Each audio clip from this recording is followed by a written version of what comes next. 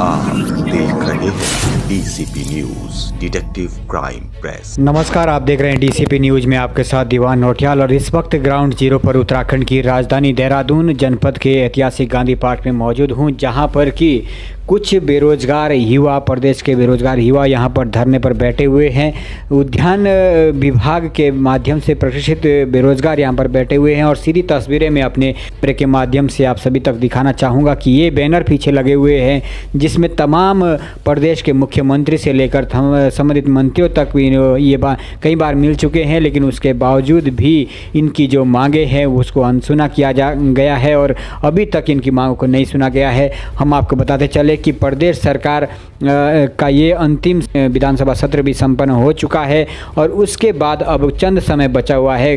कभी भी दिसंबर के अंत में या जनवरी के शायद पहले सप्ताह में जो है आचार संहिता लग जाएगी और उसके बाद कहीं ना कहीं इस सरकार का जो है कार्यकाल समाप्त हो जाएगा। लेकिन अभी तक इन सभी की पीड़ा को नहीं सुना गया है। मैं आज ग्राउंड ज़ीरो पर मौजूद हूँ, जानने की कोशिश करूँगा। मेरे साथ यहाँ नारी शक्ति भी मौजूद है और युवा भी मौजूद है। मैं इन सब की स- स- क्या बोलते हैं प्रतिक्रिया जानना चाहूँगा कि आखिर अपनी सरकार के प्रति और ऐसी सरकार के प्रति जो इनको अनसुना कर रही है इनकी क्या प्रतिक्रिया है? जी मैडम सबसे पहले आप अपना परिचय देंगे। मेरा नाम मिथिलेश है और मैं उधम सिंह नगर से हूँ।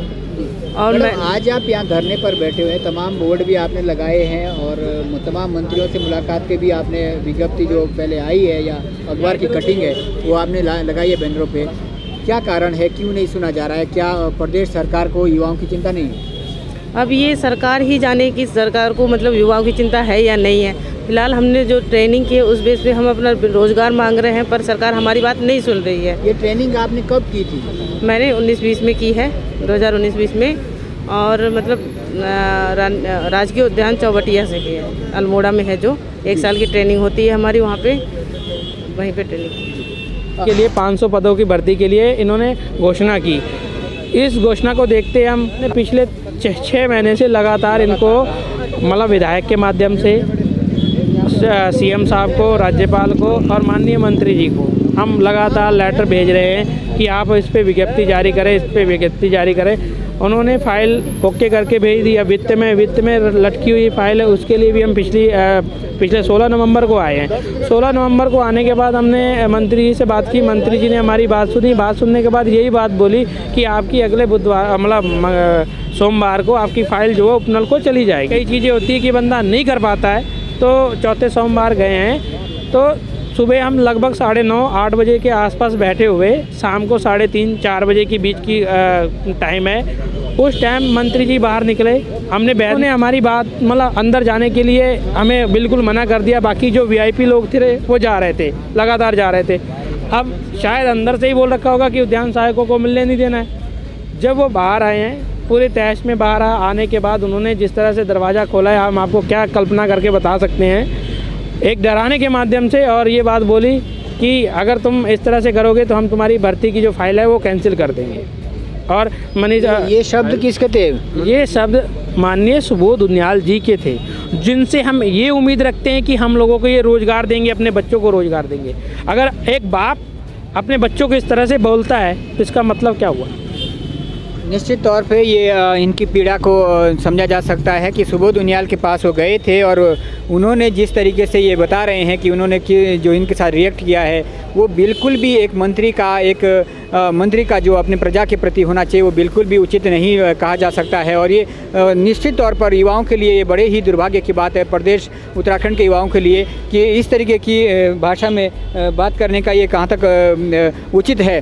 मेरे साथ, क्योंकि यहाँ पर बेरोजगार संघ के अध्यक्ष बॉबी पंवार भी मौजूद है, जाने की कोशिश करूँगा।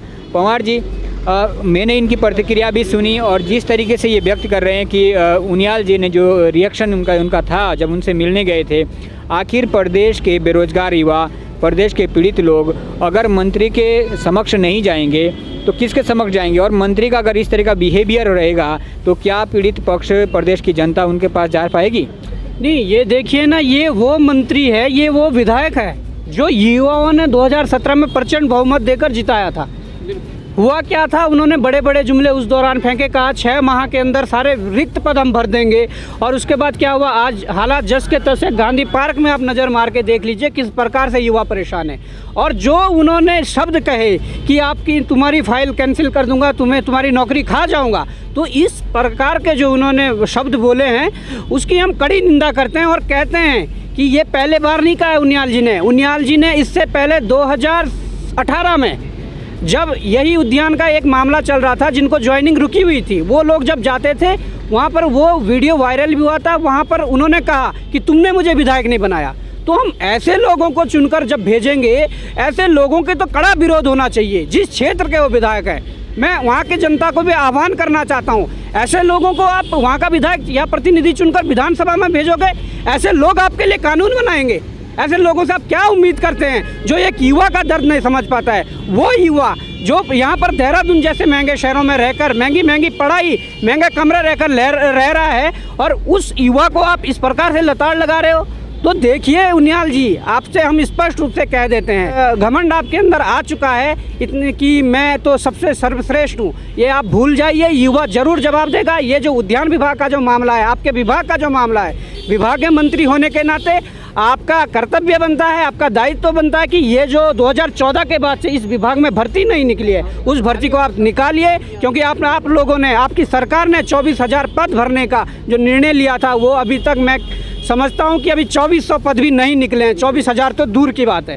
तो ये आपने बेरोजगार संघ के अध्यक्ष बॉबी पवार की भी प्रतिक्रिया जानी और चौबीस हज़ार पद को भरने का निर्णय था, लेकिन जब चंद पदों को लेकर बेरोजगार युवा उनके समक्ष गया तो उनकी फ़ाइल निरस्त करने की एक चेतावनी दी जाती है। क्या एक चुने हुए प्रतिनिधि के द्वारा इस तरीके का अपनी जनता के प्रति बिहेवियर कितना उचित है, इसका निर्णय 2022 में ये युवा ज़रूर करेंगे। मैं जानने की कोशिश करूँगा, क्योंकि और भी कुछ युवा साथी यहाँ पर मौजूद है।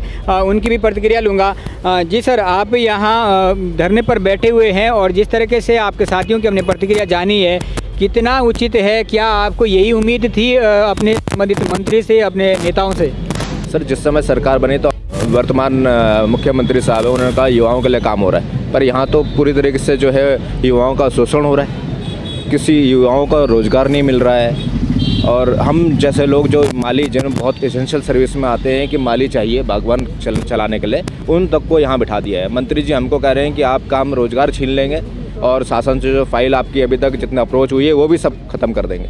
तो आप ही बताइए कि ये तो सत्ता की धुन है। तो ये निश्चित तौर पे तमाम युवाओं की आप प्रतिक्रिया ये सुन रहे हैं और हम जान सकते हैं कि इनको एक चेतावनी ये कह रहे हैं कि हमको चेताया चेताया जाता है कि तुम्हारे रोज़गार छीने जाएँगे।